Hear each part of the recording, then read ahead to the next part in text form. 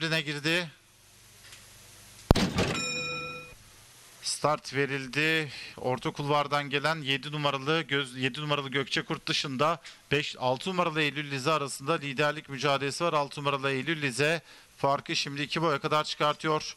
İkinciliğe dışarıdan gelen 9 numaralı Kaya Fırtınası girdi. Yarım boy kadar girdi. İç kulvarda 7 numaralı Gökçe Kurt var. Onların dışına 10 numaralı kız kardeşim geldi. 2 boy geride dış kulvarda 8 numaralı Gözümüz Aydın var.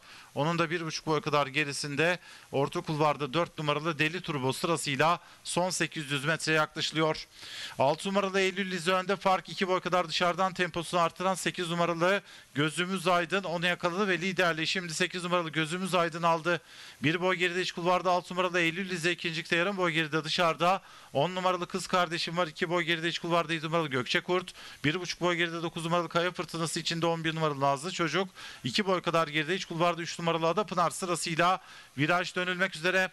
İç kulvardaki 6 numaralı Eylül Lize, orta kulvarda 8 numaralı Gözümüz Aydın arasındaki liderlik mücadelesi dışlarından 7 numaralı Gökçe Kurt içeriden de 3 numaralı Ada Pınar katıldılar. Aralarından da 11 numaralı Nazlı Çocuğun çabaları daha geriden 4 numaralı Deli Turbo'da atak yapıyor.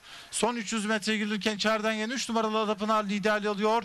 Bir boy geride orta kulvarda 11 numaralı Nazlı Çocuk dışarıda da 7 numaralı Gökçe Kurt atak yapıyorlar. Son 200 metre girildikten sonra fark 2 boy kadar 3 numaralı Adapınar önde. Dışarıdan 7 numaralı Gökçe Kurt'un çabaları fark 3 boya kadar çıktı. Son 50 metreye girilirken de 3 numaralı Adapınar önde fark 3 boy. Koşu 3 numaralı Adapınar kazanıyor.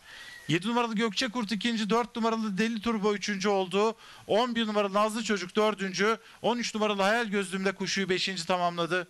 3 numaralı Adapınar Sadık Altay ile koşuyu kazandı. 12 numaralı Zeytin Tay ile Ekürüm Safkan.